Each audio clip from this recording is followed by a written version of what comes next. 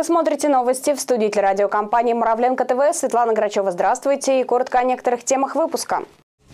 260 инициатив от ямальцев найдут свое практическое применение. В округе подвели итоги проекта «Право голоса». Репетиция ЕГЭ, но не генеральная. 45 выпускников многопрофильного лицея попробовали свои силы в пробном тестировании по математике. Окружной уровень. В Муравленко состоялось открытое первенство по восточному единоборству. Наши спортсмены на втором месте.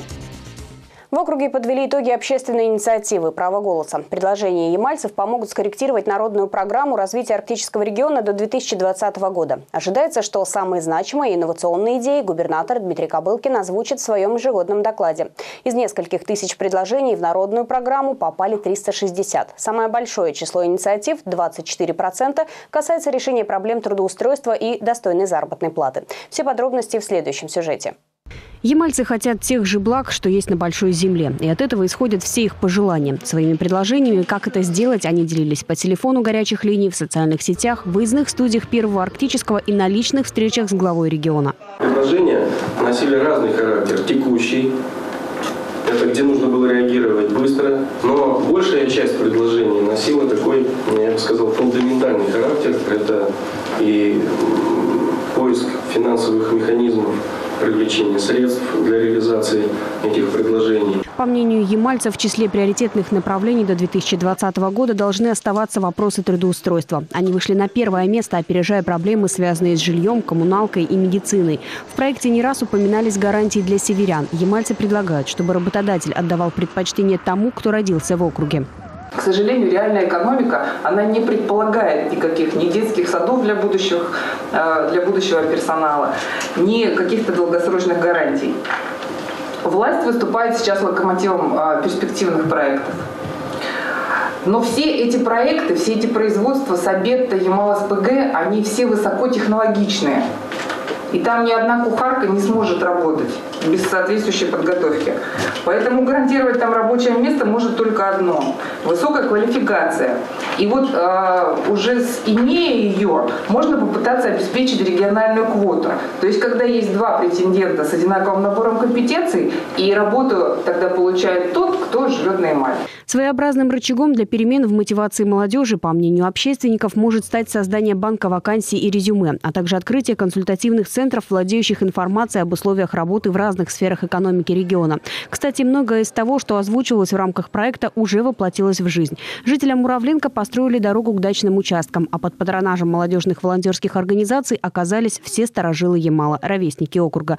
Одноименный проект накануне 85-летия помог отдать дань уважения людям, формировавшим сегодня нынешний облик Ямала. Ну и, конечно, сам глава региона не раз признавался, что черпает вдохновение из инициатив земляков. Мы, э, когда послушали людей, мы поняли, что люди хотят здесь рожать детей, хотят, чтобы дети учились, возвращались и продолжали здесь жить. Это родина для этих детей. Ну, это нормальная потребность человека. У человека должна быть родина, малая родина. Исполнение предложений на местах возьмут под личный контроль главы городов и районов. Проект «Право голоса» успел доказать свою состоятельность и будет продолжен. Мы должны быть сегодня вот в этот э, период немножко более чутче, от, э, откликаться на проблемы, с которыми люди сталкиваются. Бывают нештатные ситуации. Иногда э, стоим на букве закона и говорим, по закону это нельзя. А у человека проблема, он не знает, куда дальше пойти. И вот здесь вот нужно просто вот э, в конце концов находить какие-то нестандартные решения, чтобы проблема-то все-таки решалась. Светлана Грачева, Андрей Нагибин, телерадиокомпания «Муравленко ТВ» при содействии Департамента внутренней политики Ямала.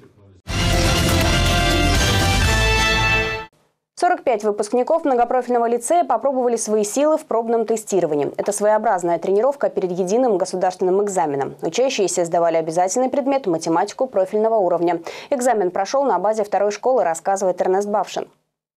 Хоть экзамен и является пробным, но все процедуры основного ЕГЭ должны быть соблюдены.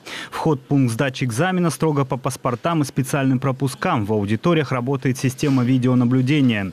13 ноября такие тренировки прошли по всей стране. В каждом регионе было организовано по три пункта сдачи пробного ЕГЭ. Кроме Муравленко, на Ямале тестирование прошло в Салехарде и Пуровском районе. Главная задача проведения данного тестирования – это апробация технологии перевода бланков ответов из бумажного варианта в электронный и затем передача этого файла по защищенным каналам связи а, в региональный центр оценки качества образования.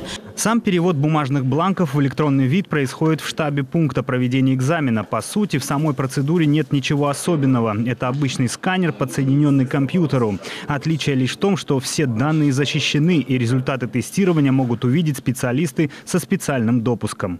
Мы проводим как раз-таки апробацию. А, мы смотрим именно техническая составляющая а, всей процедуры. А, и, соответственно, выявляем, какие проблемные моменты у нас могут возникнуть. Далее, работая с региональным центром, работаем над ошибками, чтобы при боевом проведении единого государственного экзамена у нас не возникало таких проблем, и мы могли успешно завершить этот этап. Стоит отметить, что в октябре муравленковские выпускники уже проходили пробное тестирование по истории, обществознанию и информатике. Результаты вот, разные, есть и достаточно хорошие, а есть и такие, над которыми ребятам стоит подумать, достаточно ли серьезно они готовятся к экзаменам, и есть еще время или выбрать другой предмет по выбору, или готовиться более серьезно. Результаты этого пробного тестирования по математике профильного уровня станут известны 21 ноября, а до начала настоящего единого государственного экзамена в Муравленко пройдет еще одна тренировка по одному из обязательных предметов. Также проверить свои силы могут и выпускники прошлых лет. Сейчас в Управлении образования принимаются заявления от желающих написать итоговое сочинение. Эрнест Бавшин, Андрей Нагибин, телерадиокомпания «Муравленко ТВ». В воскресенье во всем мире отметили День памяти жертв ДТП. Дата была установлена резолюцией Генеральной Ассамблеи ООН в 2005 году. Согласно статистике, дорожно-транспортные происшествия лидируют среди всех известных причин смерти. В Муравленко за 10 месяцев зарегистрировано 34 дорожно-транспортных происшествия, в результате которых два человека погибли и 48 травмированы. Основные причины аварий – это превышение скорости, выезд на полосу встречного движения и невнимательность водителей. 15 ноября почти во всех регионах страны прошли мероприятия, направленные на профилактику автоаварий. В Муравленко возле клубного учреждения «Лира» состоялась акция «Нет ДТП». Сотрудники ГИБДД, их юные помощники из отряда ЮИТ и волонтеры постарались привлечь внимание как можно большего количества участников дорожного движения. Данное вот такое мероприятие а, призвано, э, чтобы напомнить водителям о необходимости быть внимательными и осторожными на дорогах, соблюдать правила дорожного движения. И то есть рассказать людям, что жизнь бесценна, и ее нужно беречь, сохранять. Пешеходам и автолюбителям вручали памятки и напоминали о необходимости соблюдать правила. В память о погибших дорожно-транспортных происшествиях в небо над городом участники акции выпустили черно-белые воздушные шары и возложили цветы на местах дорожно-транспортных происшествий. К другим темам. Проявление толерантности является одним из самых действенных способов противодействия экстремизму. А взаимное уважение к людям другой культуры нужно прививать с детства. Подрастающему поколению необходимо как можно больше рассказывать о народах, проживающих в нашем городе и округе, знакомиться друг с другом и чаще встречаться. Именно с этой целью в Муравленко была организована неделя толерантности. В городе состоялось сразу несколько тематических мероприятий. Подробности в сюжете Ани Григорян. В рамках недели толерантности библиотеки города и Центр патриотического воспитания организовали и провели для школьников познавательные программы. Их главная цель – сохранить историческое наследие, приобщить подростков к культурным ценностям разных народов, проживающих на территории России.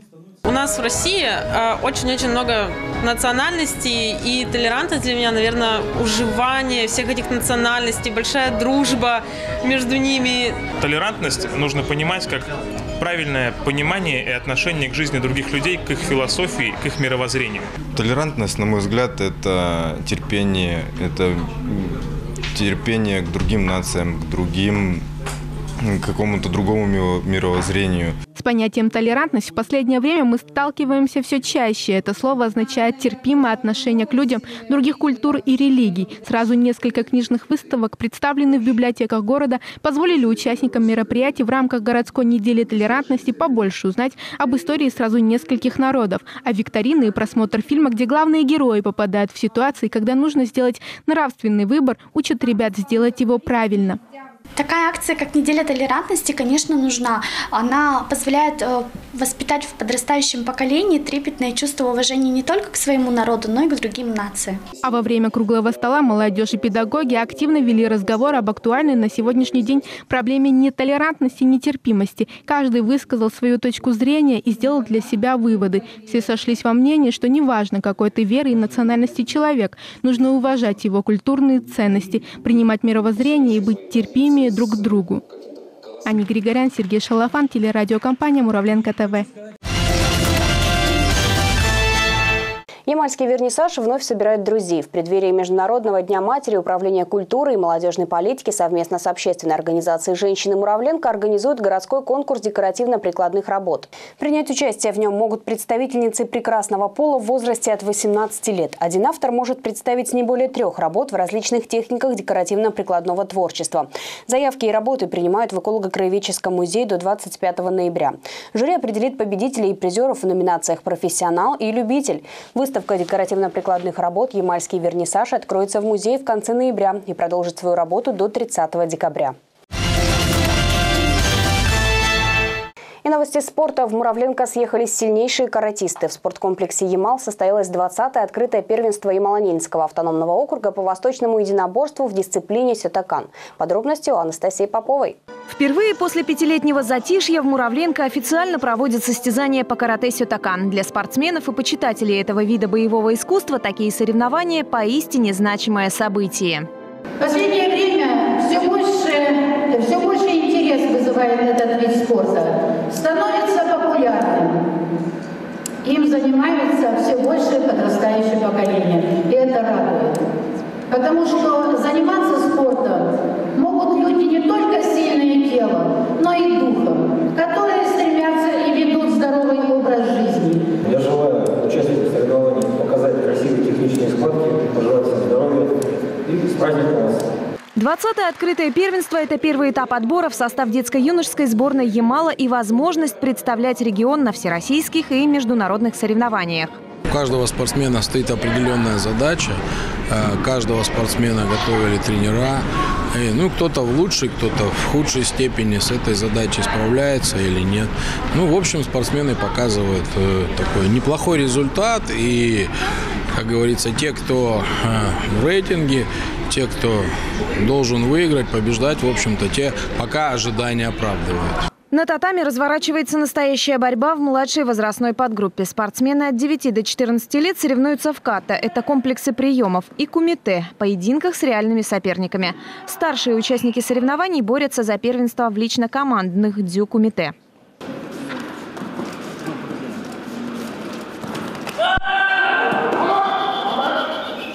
Среди лучших муравленковец Иван Семибратов. Он всерьез занимается карате сётакан уже 11 лет и является кандидатом в мастера спорта. Но на этих соревнованиях в абсолютной категории он стал вторым. На самом деле они важны, потому что это идет отбор на, получается, чемпионат России. И если ты не занимаешь место, так ты не едешь. География состязаний широка. В Муравленко съехались каратисты из четырех городов и районов округа, а также спортсмены из Перми. Нас пригласили мы с удовольствием э, приехали, еще раз хочу сказать, потому что уровень спортсменов э, э, Ямау, Ямало-Ненецкого автономного округа довольно-таки хороший, высокий. Нам очень интересно было посоперничать и поднять свой уровень своих спортсменов также. Проверить уровень подготовки спортсменов удалось всем командам. В общем зачете по всем соревновательным категориям победу одержала сборная Ноябрьска. А в зачете по первенству Ямала в лидерах команда Муравленко. Пермяки на пятой и четвертой позициях в рейтинге. Финальная часть состязания – награждение победителей. Несмотря на все трудности